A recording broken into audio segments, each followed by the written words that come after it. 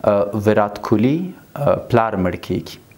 او دا باید د خپل پلار په جنازه کې اوسي هغه اندوان دي زنه پویګم ورته جنازه وایو کنه خو په هر حالت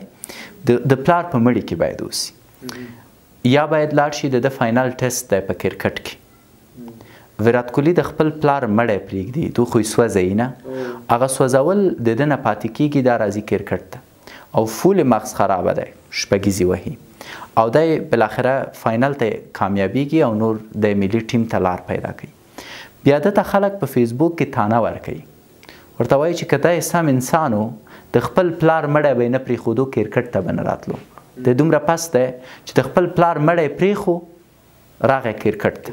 دا سړی غلی پی اوسی هیڅ شی نه وای درې کاله وروسته دا یو ټویټ کوي او په ټویټ کې لیکي چې نن زما د پلار د مړي کلیزه ده او په میلیونهاو خلکو زما پلار ته دعاګانې را لېږلي کوم کې چې انګریزي کې د ورته ګډ وشس وای که ما مې د پلار جنازه کې خپل وخت ځای کړی او الته وم نن به درې یا څلور میلیونه خلکو زما پلار ته دعا نه کولې پس ما که د هغه جنازه مس کړي نتیجه نن دا ده چې هر کال زما پلار ته درې میلیونه خلک دعا کوي پس قرباني ورکول ښه شی دی د خپل هیلو د پاره لکه ویرات کولی چې ورکړه فرض وکړه ویرات کولی د خپل پلار مړی کې وو او سبا ته د د خپل پلار مړی لیدلی و چې څه د د پلار بچا یاد کړی مو اما اوس د ویرات کولی له امله هر کال حد اقل درې لا څلور میلیونه خلک د هغه د پلار په حق کې دعا کوي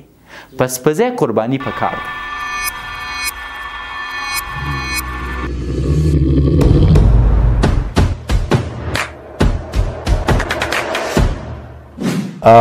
مونږ چا سره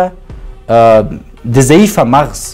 د تقوی لپاره مرسته نه کوو مونږ سپین ماموریت جوړو چې یو داسې کلینیک دی چې په هغې کې به مایوسه ډپرس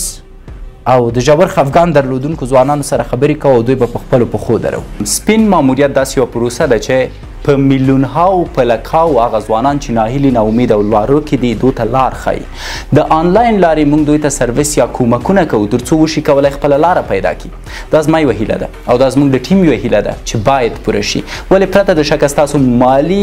مرستو ته اړتیا لرو نو که چیرته غواړئ ناهیلي ځوانان هغوی چې ژور خفګان لري، هغوی چې نه پوهېږي په ژوند کې څه وکړي، یوه وسیله شئ تر څو هغو ته لاره وښایئ، نه دا چې یوازې کومک ورته وکړئ د یوې یا دوه ورځو لپاره، بلکې داسې یې ژوند بدل کړئ چې وشي کولای ټول ژوند خوشحاله اوسي او خپل ژوند په خپله جوړ کړي، نو کولای شئ راسره په اړیکه شئ. البته دا واټساپ شمېره یوازې د هغه چا لپاره ده چې د سپین ماموریت مالي سپورټ یا مالي حمایت کوي. ستاسو هره روپۍ موږ ته ارزښت لري. مننه.